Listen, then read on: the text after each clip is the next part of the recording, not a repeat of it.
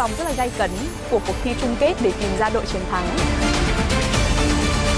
Vòng chung kết sẽ là một vòng thi rất là khắc nghiệt. Chính vì vậy là mình rất là mong là các bạn có thể giữ gìn sức khỏe để có thể gặp nhau tại Hà Nội và có một cái à, ngày thi đấu, một trận đấu thật là ngang tài ngang sức và thật là thu hút. Sinh viên ta về, chung tay vì